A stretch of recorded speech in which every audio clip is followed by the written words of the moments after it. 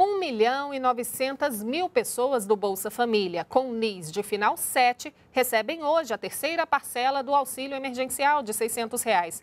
E o presidente Jair Bolsonaro já anunciou que vai propor a continuidade do auxílio. E é sobre isso que a gente conversa agora com a repórter Márcia Fernandes, que está lá no Palácio do Planalto. Bom dia, Márcia. A previsão de quando devem ser anunciados esses novos valores e parcelas?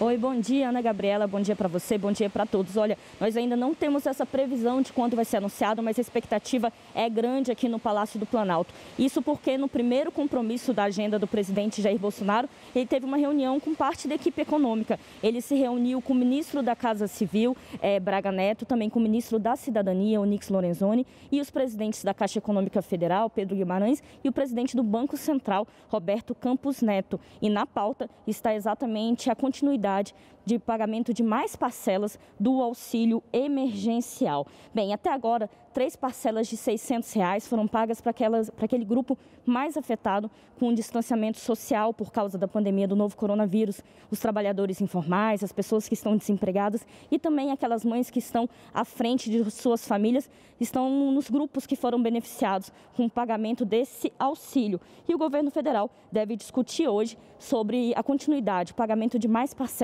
desse tipo. Até agora foram repassados mais de 81 bilhões de reais para 63 milhões de brasileiros em todo o país. E a expectativa é a continuidade desse pagamento ser anunciada ainda hoje aqui em Brasília. E ainda na agenda do presidente Jair Bolsonaro, ele deve participar daqui a pouquinho de uma cerimônia para assinatura de um termo de cooperação técnica que reúne dois sistemas que são o Corpus 927 e o, a Constituição e o Supremo.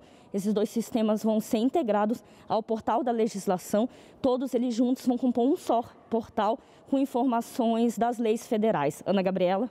Obrigada pelas informações ao vivo, Márcia. A gente continua acompanhando toda a movimentação aí do Palácio durante o dia.